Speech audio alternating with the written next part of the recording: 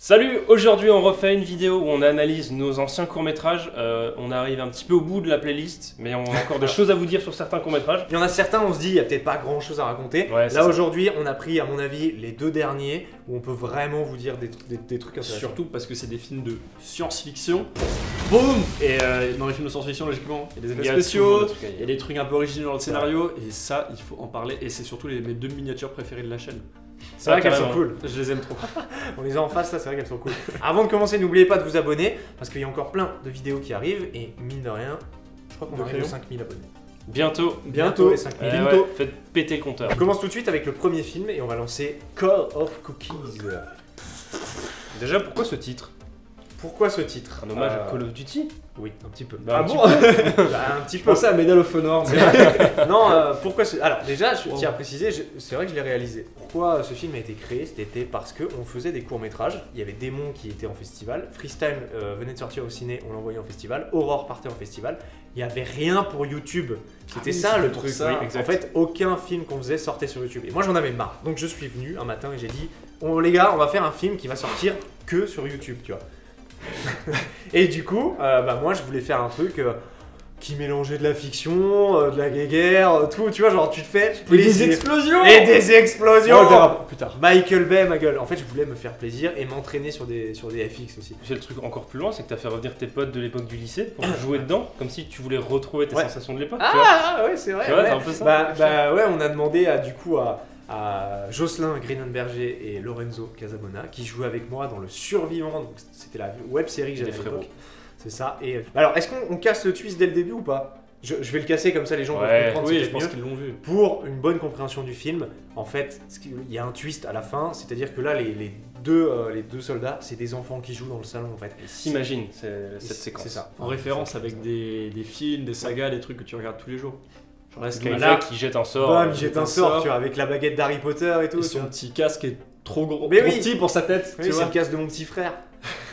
Mais oui, c'est trop bien. Et on voit qu'il a un Toki qui dépasse, qui Ouais. est vraiment. euh, c'est un jouet quoi. Ouais, voilà. Petit trucage, voilà, on le fait sauter d'un endroit qui est pas très haut. Et avec le Ouais. raccord, on a l'impression qu'il a sauté du haut de. De, Du la tour l'étage. De la carte dans Harry La Potter. carte du maraudeur. Exactement. Le Maraudeur dans Harry Potter. Et le son n'est pas raccord. C'est-à-dire que là, il parlait, mais j'ai pas du tout pris les pistes son qui étaient sur ses plans. Ça, parce que c'était chiant. Ouais. Quand il doit attraper le truc, Il ah, arrivait pas, ouais. à chaque fois on se trompait. Et les méchants, parce qu'il y a dans toute bonne histoire, il y a des méchants. C'est ça. Théocos, Théo Brandon, Cossalter, Thomas, Perrier. Alors, on peut aussi le dire, à la base, Oh on était en mode, on aurait voulu une Une armée. armée, vous voulez une armée. Mais je crois que, Puis les gens ne sont pas venus. comme d'habitude, Non, ou alors ils ont annulé la veille, on était au courant, il y a eu un truc.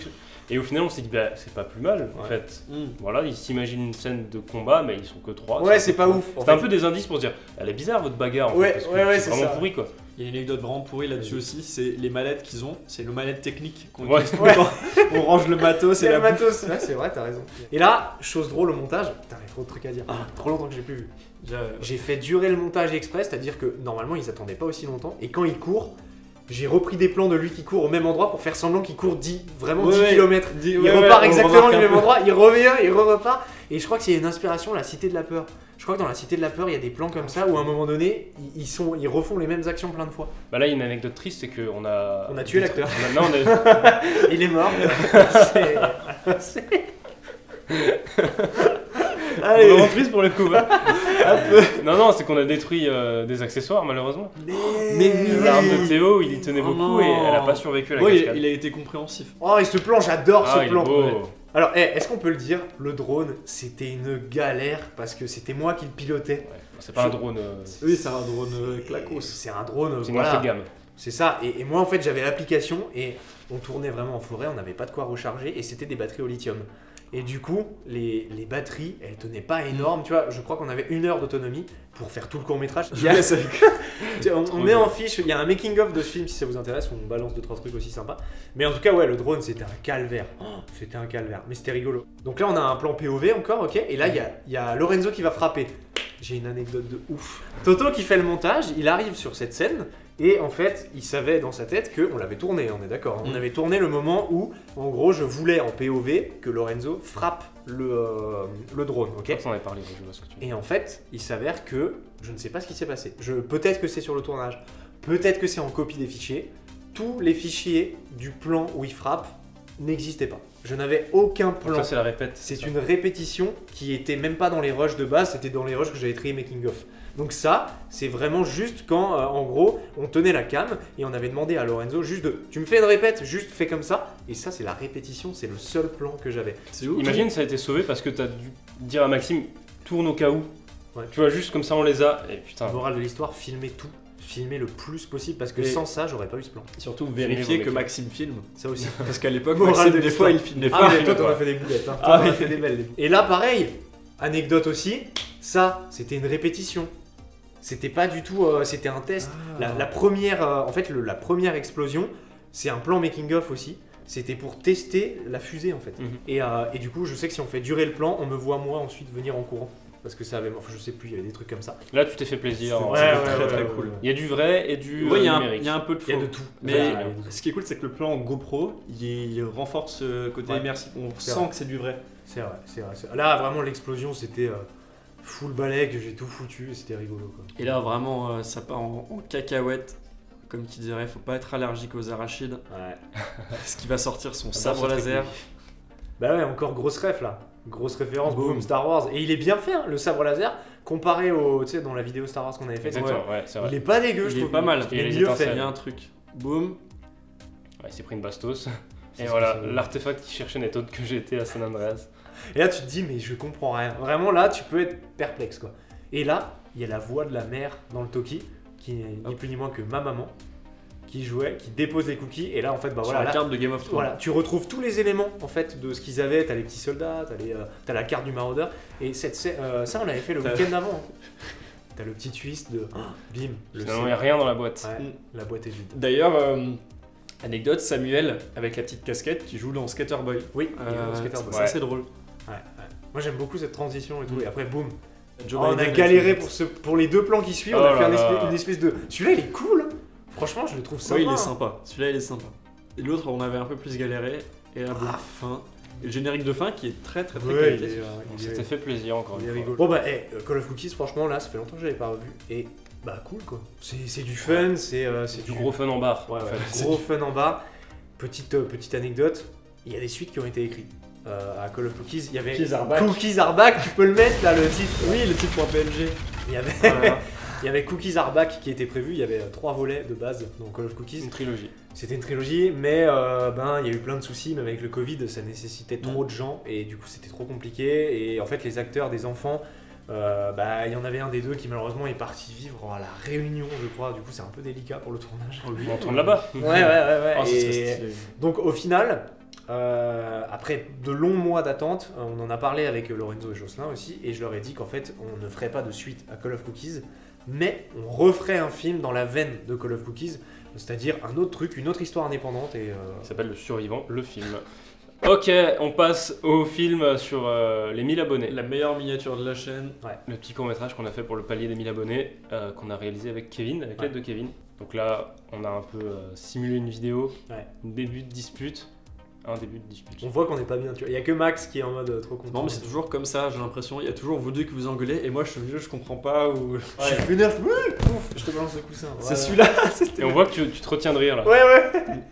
Et là, le meilleur moment. Boum, c'est Oh là. Mon Dieu, comment on a fait ça, messieurs? Il y a deux décors, ok?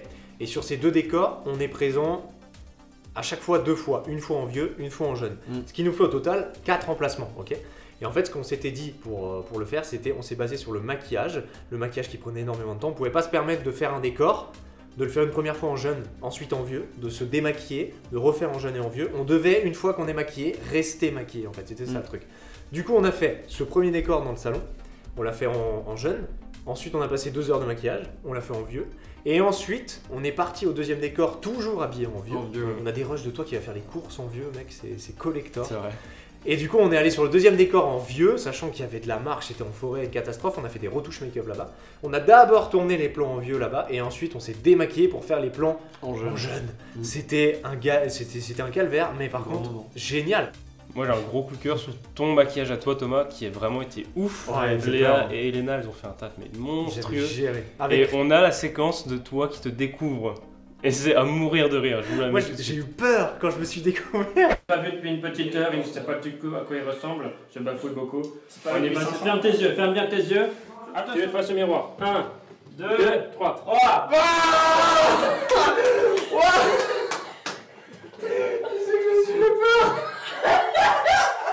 Réussi. Ce que j'adore, c'est que quand on vieillit, on a forcément un truc sur la tête. On a les deux un chapeau. C'est génial. Mais toi, on t'a mis un bonnet parce que euh, il y avait un trou Oui. où tes cheveux qui dépassaient. Oui, oui, du coup, Ah. moi, c'était pour cacher. À la base, je devais être chauffe, chauffe, chauffe, mais ça marche pas. Pas sûr que la science accepte. Moi, j'aime beaucoup comment tu joues là-dedans, Max. Ouais, de ouf. Le Ouais. vieux et le jeune, je trouve il y a un truc assez qui J'étais un peu bourré. Le chant contre chant, il est génial. Jouer sur les dialogues. On n'est pas parti sur de la science-fiction où il y a des explosions, c'est des dialogues en fait.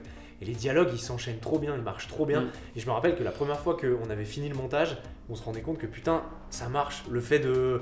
En fait, t'as l'impression qu'on se parle vraiment, alors qu'à Ouais, là, c'est ça. il y avait une amorce. Et tu vois, l'amorce, c'était euh, Elena qui Mm. était debout sur un pouf et qui avait le mon menton. Exact. Tu vois, genre, t'es en mode putain.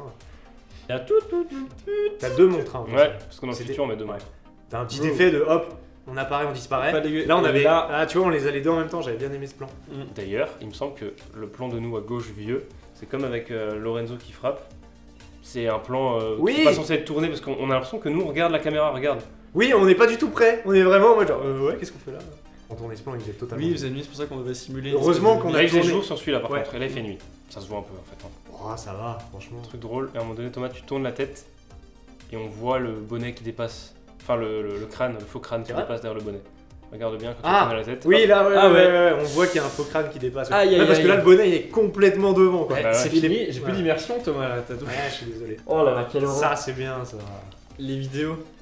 On a fait exprès de les faire les dégueu. verres au cinéma. On a fait exprès de faire un truc moche. L'inspiration pour ce truc, c'était euh, s'amuser avec les drapeaux de de Sheldon Cooper. Oui, c'est vrai. Où en gros, il est jamais synchro avec ce qu'il montre et tout, et je trouvais ça beaucoup trop drôle. Ah. Minecraft, ah, c'était drôle. D'ailleurs, Bah, faut le vas-y. dire, mais maintenant on est sur Twitch et on fait du Minecraft, du coup ça marche. Suivez-nous sur Twitch, le lien est dans la description. Très bien La prophétie va se réaliser. hein. C'est exactement ça.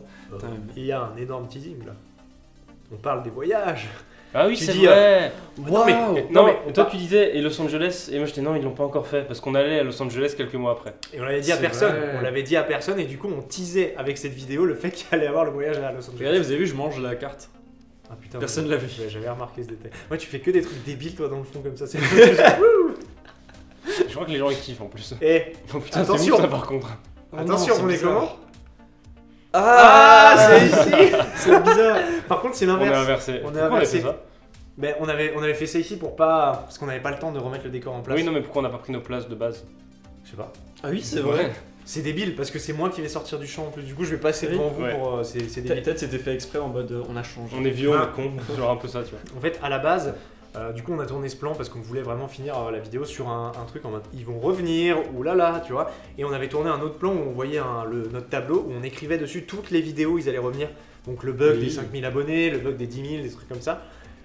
Spoil, on verra. on verra. On verra. T'as vraiment, tu t'es lancé. tu- Ouais, je Bon, on verra. Et qu'est-ce qu'on pourrait faire de différent là-dessus Bah rien. Bah rien, soit, non, parce que c'était fun. Peut-être juste euh, dans l'organisation, peut-être des trucs qu'on aurait pu optimiser pour gagner du temps, mais en soi c'est À cool. la c'est limite, si on avait voulu faire ça proprement, deux jours de tournage. Ouais, voilà. Voilà, parce que là on l'a fait en une journée, c'était euh, tellement la course. Je crois que c'était une période où on n'avait pas, Pas de temps. Pas le temps parce que les gens n'étaient pas dispo en Bah, semaine. normal, et normal. On- Il y avait que nous qui C'était bossions en pas trop. septembre 2019. Ouais. Exactement. Ah, c'était un week-end, un samedi, on a tout fait, et puis voilà. En tout cas, n'hésitez pas à nous dire euh, ce que vous avez pensé un peu bah, de Call of Cookies, de la vidéo des 1000 abonnés, peut-être que vous les aviez pas encore vus. Euh, si c'est pas le cas, franchement, bah, je vous invite à aller les, les voir avec le son et tout, parce que bah là, en fait, c'est vrai qu'on vous le montre sans le son, mais il y a quand même un travail sur le son qui est pas dégueulasse, euh, mine de rien. Puis allez voir les 1000 abonnés parce que ça a même pas fait 1000 vues. Voilà. Ah, Ça, c'est peut-être la plus grande frustration c'est que ces 1000 abonnés, ah, dans le court-métrage, on dit 1000 fois merci, Mais Mais il y a que 800 vues. 888 personnes qui l'ont vu. Du coup, ça veut dire qu'il il manque encore une petite centaine de personnes pour combler ça. Et Non, allez voir la vidéo des 1000 abonnés, 112, s'il vous plaît. Il faut qu'on ait 1000 vues là-dessus parce que putain, c'est triste. Et quand on aura 1000 vues sur cette vidéo, on fera la suite avec les vieux. Voilà. J'accepte. C'est le Bon. bon, ce running gag. Ouais. Bon, n'oubliez pas de vous abonner, on revient très vite pour de nouvelles aventures. Et puis, ciao À Ciao. bientôt. Merde, j'ai mélangé les deux C'est pas grave, sors vite